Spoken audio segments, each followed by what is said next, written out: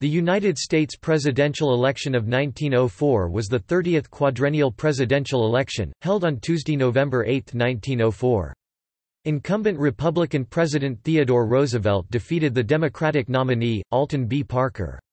Roosevelt's victory made him the first president to win a term in his own right after having ascended to the presidency upon the death of a predecessor. Roosevelt had acceded to office in 1901 following the assassination of William McKinley. After the February 1904 death of McKinley's ally, Senator Mark Hanna, Roosevelt faced little opposition at the 1904 Republican National Convention. The conservative Bourbon Democrat allies of former President Grover Cleveland temporarily regained control of the Democratic Party from the followers of the William Jennings Bryan, and the 1904 Democratic National Convention nominated Alton B. Parker, Chief Judge of the New York Court of Appeals. Parker triumphed on the second ballot of the convention, defeating newspaper magnate William Randolph Hearst. As there was little difference between the candidates' positions, the race was largely based on their personalities. The Democrats argued the Roosevelt presidency was arbitrary and erratic. Republicans emphasized Roosevelt's success in foreign affairs and his record of firmness against monopolies. Roosevelt easily defeated Parker, sweeping every region in the nation except the South. Two third-party candidates, Eugene V. Debs of the Socialist Party and Silas C. Swallow of the Prohibition Party, each took over 1% of the popular vote. Roosevelt's popular vote margin of 18.8% was the largest since James Monroe's victory in the 1820 presidential election.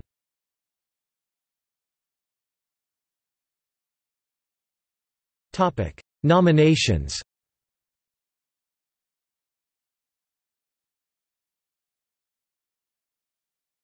Topic: Republican Party nomination. Republican candidates As Republicans convened in Chicago on June 21 to 23, 1904, President Theodore Roosevelt's nomination was assured.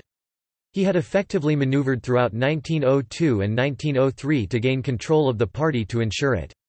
A dump Roosevelt movement had centered on the candidacy of conservative Senator Mark Hanna from Ohio, but Hanna's death in February 1904 had removed this obstacle. Roosevelt's nomination speech was delivered by former Governor Frank S. Black of New York and seconded by Senator Albert J. Beveridge from Indiana. Roosevelt was nominated unanimously on the first ballot with 994 votes. Since conservatives in the Republican Party denounced Theodore Roosevelt as a radical, they were allowed to choose the vice presidential candidate. Senator Charles W. Fairbanks from Indiana was the obvious choice, since conservatives thought highly of him, yet he managed not to offend the party's more progressive elements. Roosevelt was far from pleased with the idea of Fairbanks for vice president. He would have preferred Representative Robert R. Hitt from Illinois, but he did not consider the vice presidential nomination worth a fight. With solid support from New York, Pennsylvania, and Indiana, Fairbanks was easily placed on the 1904 Republican ticket in order to appease the old guard.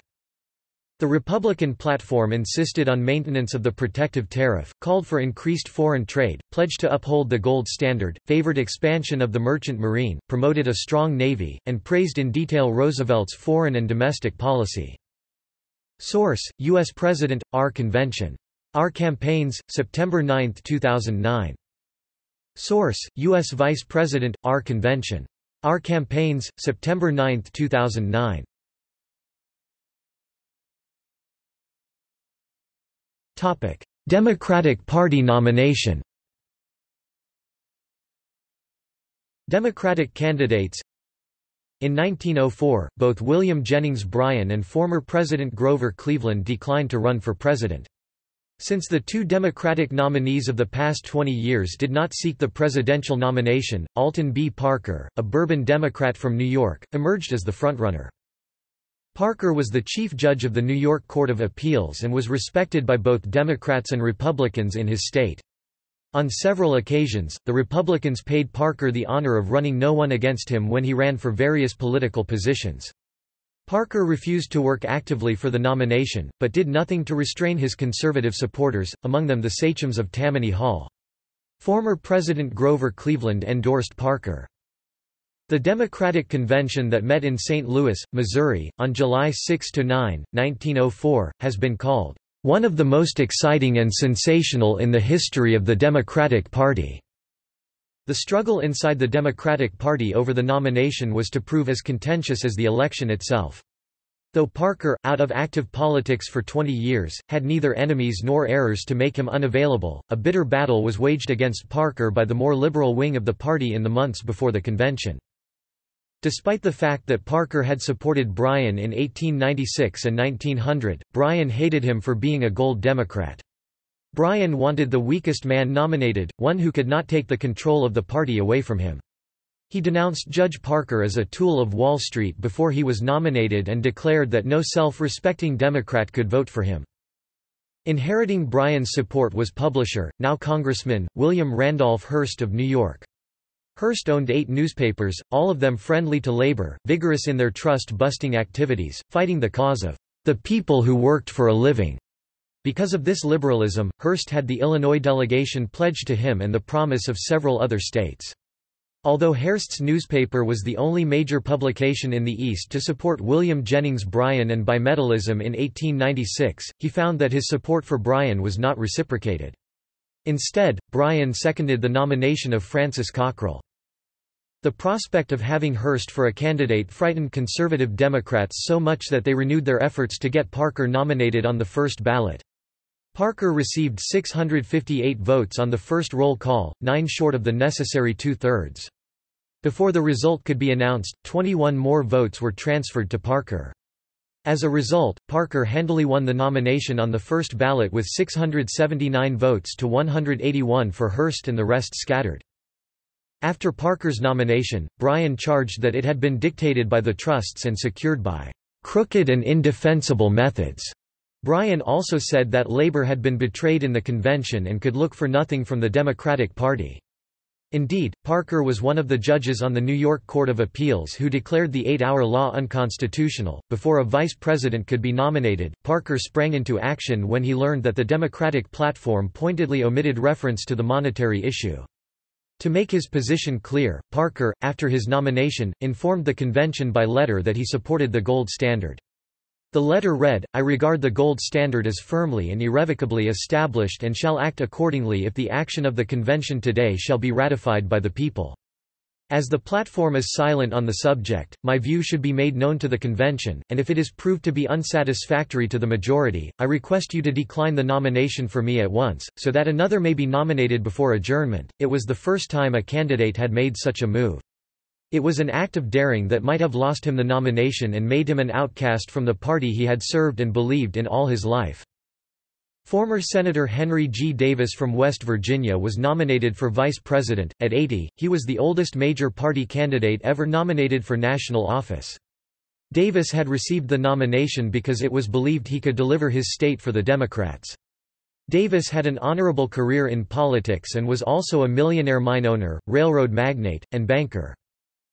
Parker protested against the rule of individual caprice, the presidential usurpation of authority, and the aggrandizement of personal power. But his more positive proposals were so backward-looking, such as his proposal to let state legislatures and the common law develop a remedy for the trust problem, that the New York World characterized the campaign as a struggle of conservative and constitutional democracy against radical and arbitrary republicanism. The Democratic platform called for reduction in government expenditures and a congressional investigation of the executive departments, already known to teem with corruption, condemned monopolies, pledged an end to government contracts with companies violating antitrust laws, opposed imperialism, insisted upon independence for the Philippines, and opposed the protective tariff. It favored strict enforcement of the eight-hour workday, construction of a Panama Canal, the direct election of senators, statehood for the Western Territories, the extermination of polygamy, reciprocal trade agreements, cuts in the Army, and enforcement of the civil service laws. It condemned the Roosevelt administration in general as spasmodic, erratic, sensational, spectacular, and arbitrary.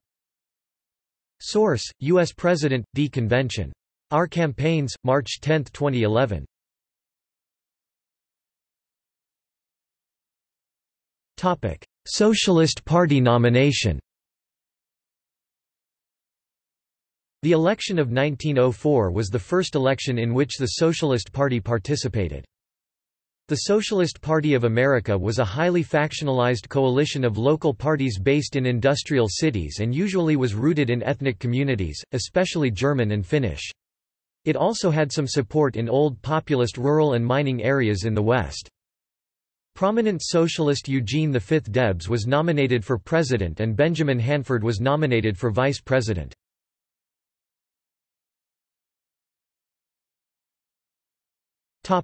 General election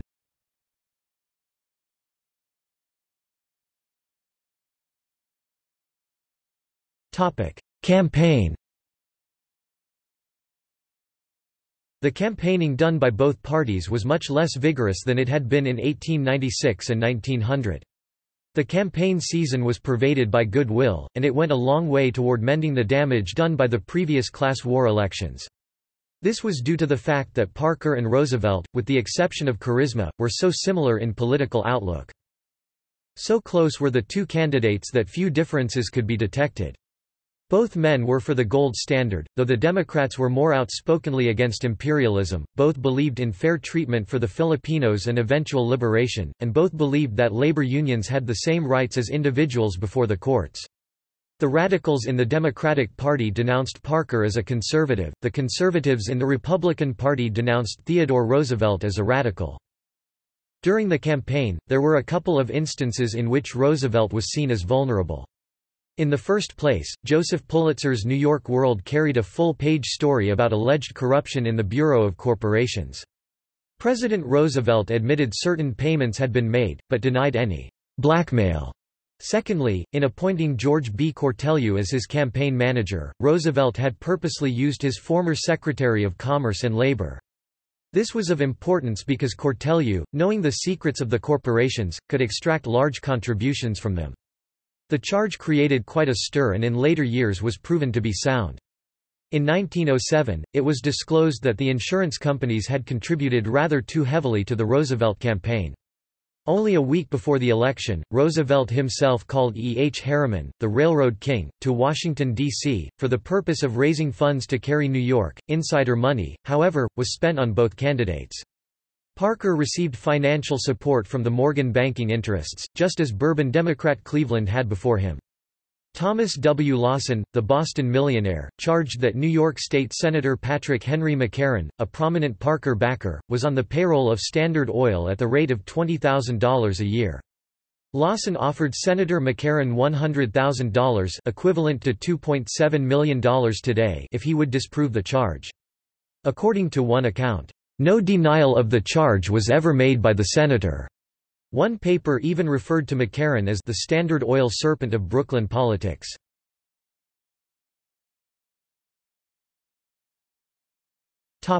Results Theodore Roosevelt won a landslide victory, taking every northern and western state. He was the first Republican to carry the state of Missouri since Ulysses S. Grant in 1868. In voting Republican, Missouri repositioned itself from being associated with the Solid South to being seen as a bellwether swing state throughout the 20th century. The vote in Maryland was extremely close. For the first time in that state's history, secret paper ballots, supplied at public expense, and without political symbols of any kind, were issued to each voter. Candidates for electors were listed under the presidential and vice presidential candidates for each party. There were four parties recognized in the election Democratic, Republican, Prohibition, and Socialist. Voters were free to mark their ballots for up to eight candidates of any party. While Roosevelt's victory nationally was quickly determined, the election in Maryland remained in doubt for several weeks. On November 30, Roosevelt was declared the statewide victor by just 51 votes. However, as voters had voted for individual presidential electors, only one Republican elector, Charles Bonaparte, survived the tally. The other seven top vote recipients were Democrats. Roosevelt won the election by more than 2.5 million popular votes. No earlier president had won by so large a margin. Roosevelt won 56.4% of the popular vote, that, along with his popular vote margin of 18.8%, was the largest recorded between James Monroe's uncontested re-election in 1820 and the election of Warren G. Harding in 1920. Of the 2,754 counties making returns, Roosevelt carried 1,611 and won a majority of votes in 1,538. He and Parker were tied in one county 0.04%. Thomas Watson, the populist candidate, received 117,183 votes and won nine counties in his home state of Georgia. He had a majority in five of the counties, and his vote total was double the populist showing in 1900 but less than one-eighth of the party's total in 1892. Parker carried 1,133 counties and won a majority in 1,057. The distribution of the vote by counties reveals him to have been a weaker candidate than William Jennings Bryan, the party's nominee four years earlier, in every section of the nation, except for the Deep South, where Democratic dominance remained strong, due in large part to pervasive disfranchisement of blacks. In 17 states, the Parker-Davis ticket failed to carry a single county, and outside the South carried only 84. This was the last election in which the Republicans won Colorado, Nebraska, and Nevada until 1920.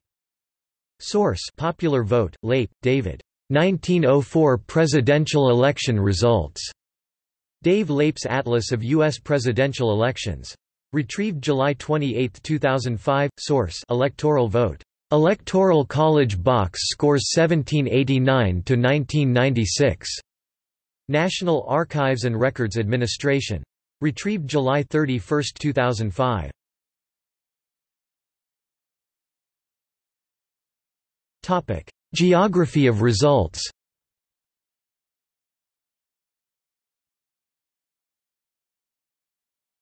Topic: Cartographic gallery.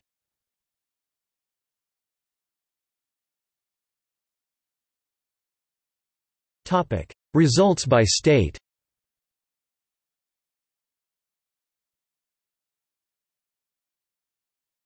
Topic: Close states.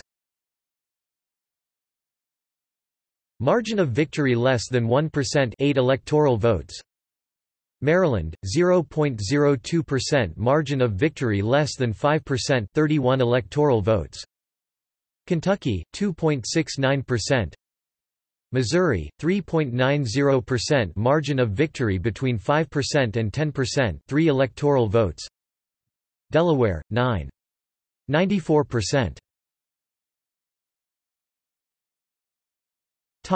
Statistics. Counties with highest percent of vote Republican. Keweenaw County, Michigan 94.55%. Mercer County, North Dakota 93.68%. Logan County, North Dakota 93.61%. McIntosh County, North Dakota 92.70%. Zapata County, Texas 92.48% Counties with highest percent of vote Democratic. Horry County, South Carolina 100.00% Georgetown County, South Carolina 100.00% Fairfield County, South Carolina 100.00% Madison Parish, Louisiana 100.00% Potter County, Texas 100.00% Counties with highest percent of vote populist. Glasscock County, Georgia 69.38% McDuffie County, Georgia 58.59% McIntosh County, Georgia 56.55% Jackson County, Georgia 55.29% Johnson County, Georgia 53.05% Topic. See also. History of the United States 1865 to 1918 Newspaper endorsements in the United States presidential election 1904 United States House elections 1904 United States Senate elections 1904 Second inauguration of Theodore Roosevelt